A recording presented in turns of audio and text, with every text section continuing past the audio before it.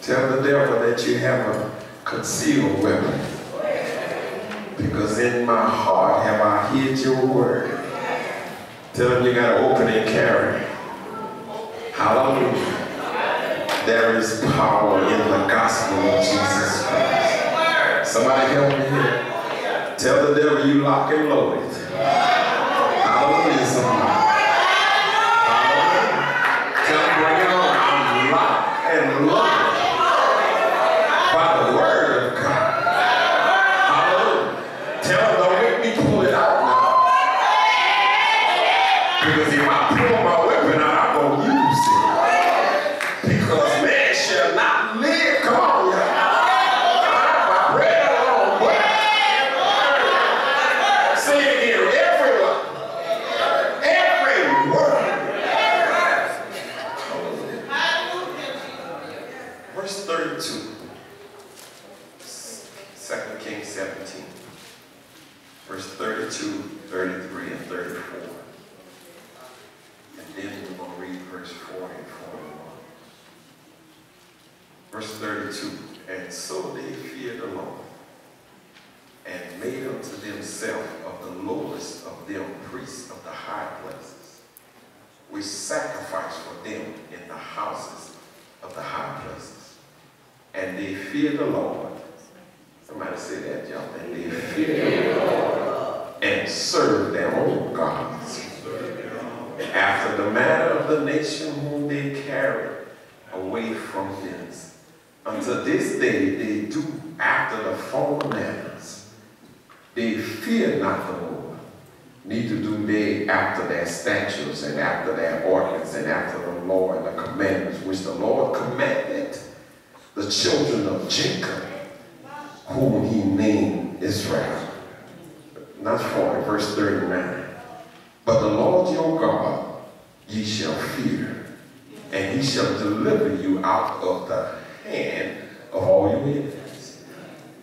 Again, how they, they did not but they did after that former manners.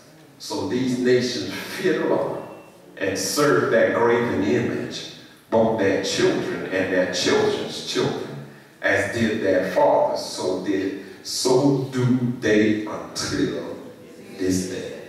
You may be seated. God has leveled an accusation against his people.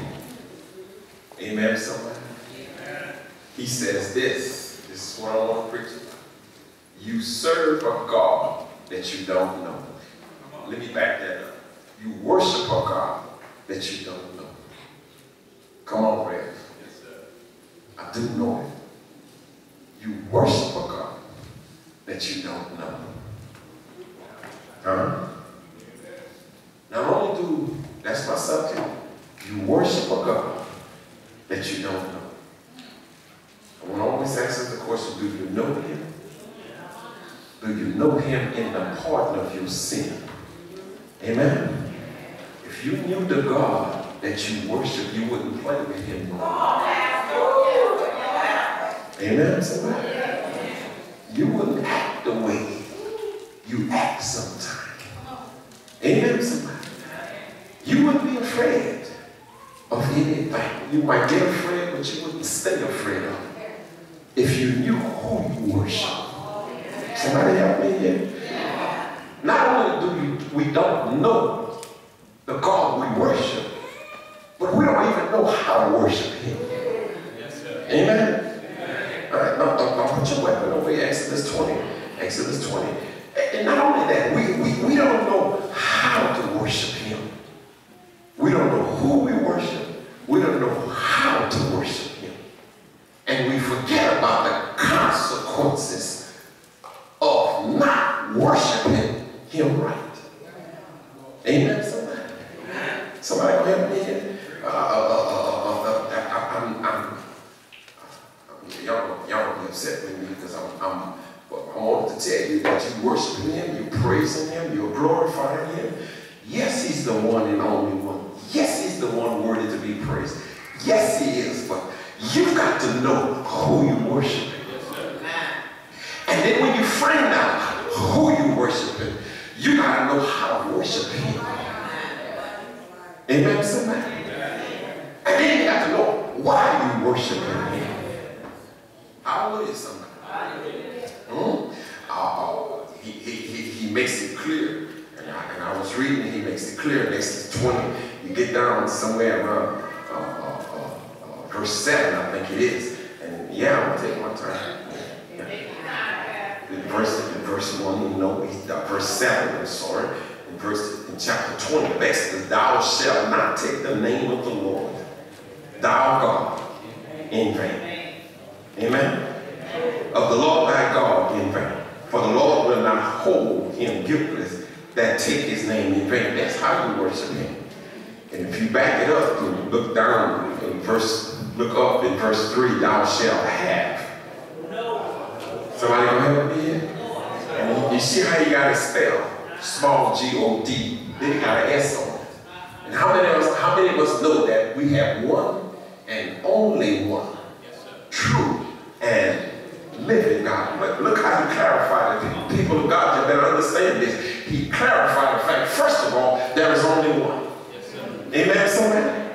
Uh, there is only one God. There is no other God. And then God, God didn't even have to. God was, to me, to, uh, my heavenly Father, with all due respect, God was being sarcastic there because he knew of any, of anything or anybody that knows better. He knew he was the only God.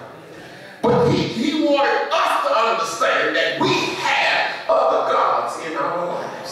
So he came out and got sarcastic. He said, you shall have no other God. Amen. He, he, he, he said, thou shalt have no other God before me. You know, because God is not foolish. He understands the fact that not only will you have him, but you will have other gods. God, God, God understands. God understands that we not always be holy. God understands that we not always be church people. Hallelujah, somebody. Because as soon as we walk out the church, we're ready to shake our tail. Just as this, this the right music gotta come on. Somebody help me here. Uh, somebody just gotta step on the wrong toes.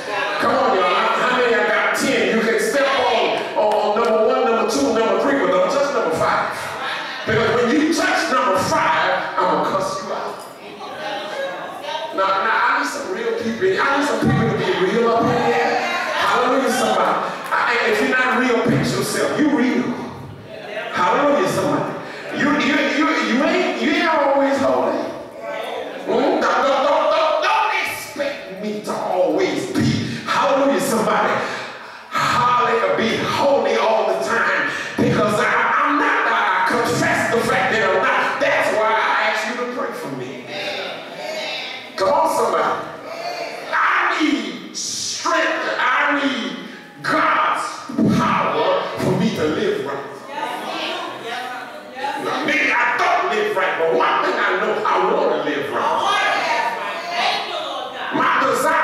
Is to worship this most high and holy God.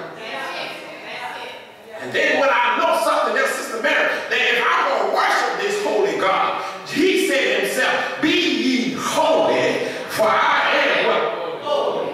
Y'all with me up in this place? Yeah, y'all, y'all, y'all, I mean, if I you to help me preach this thing. Mhm. You don't know the God that you worship. And you don't know how to worship him. And you don't know why you worship him. Amen, somebody? And yes, you don't. This is why you're in church. That's why you come to Bible study. That's why you read your Bible. That's why you listen to preachers and teachers. Because I want to know who this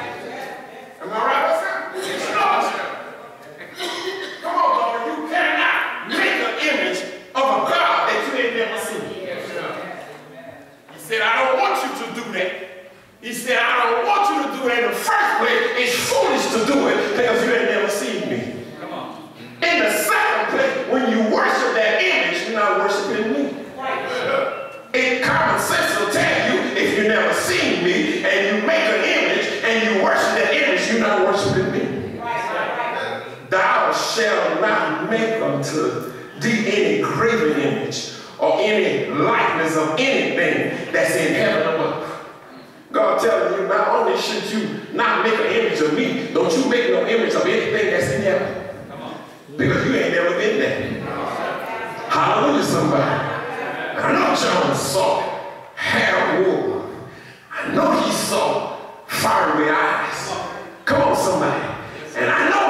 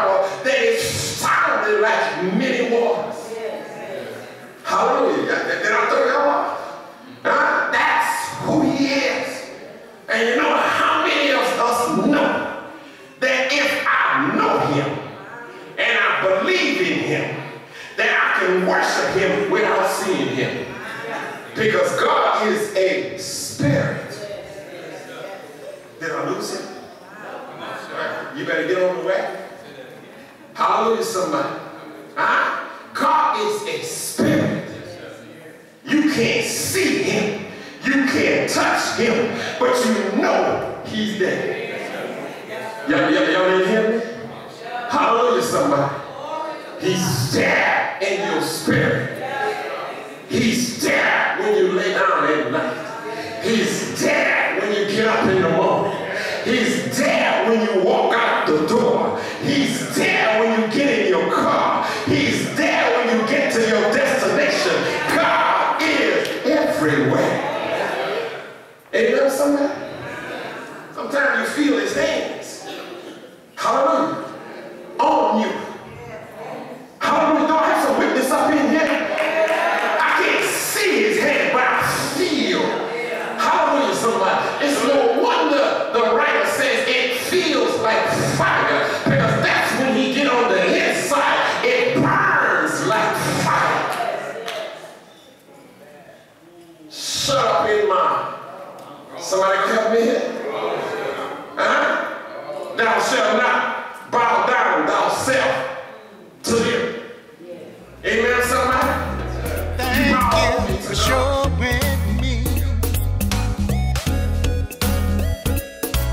that without Christ I can do nothing.